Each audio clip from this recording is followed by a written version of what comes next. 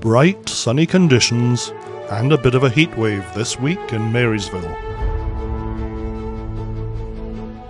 No deterrent to GIP's amazing paving crew.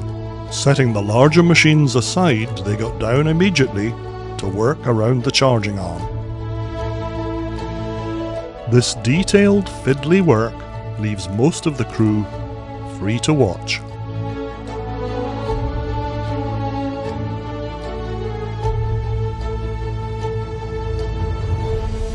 There are many small areas to address that simply don't accommodate machinery.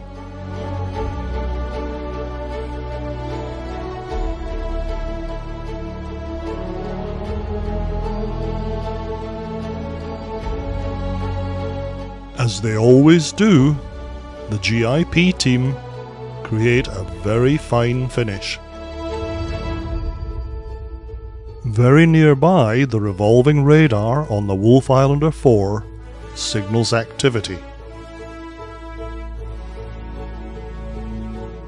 Crew members are engaged in launch, recovery, and operation of the rigid rescue craft that are carried aboard the vessel.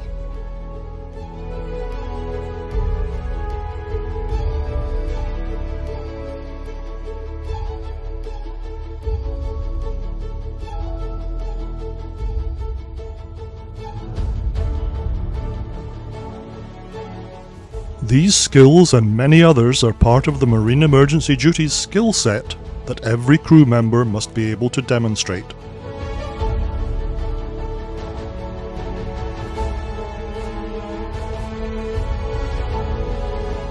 Back on dry land, additional railings are being affixed to the west side of the dock.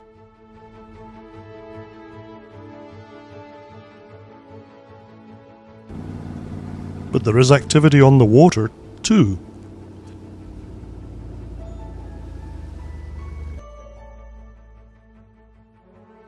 There's no obvious change in the installation of utilities. Early afternoon sees GIP in a position to use some of its larger paving machines. Including the massive asphalt serving shuttle buggy.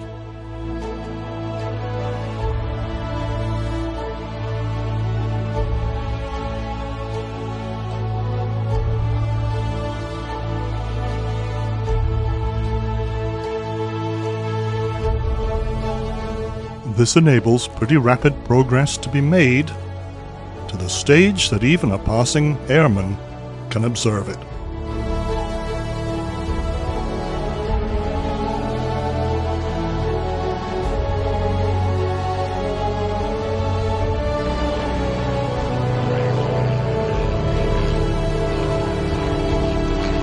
Thanks for watching, and if you want to continue to follow the project, look out for further updates.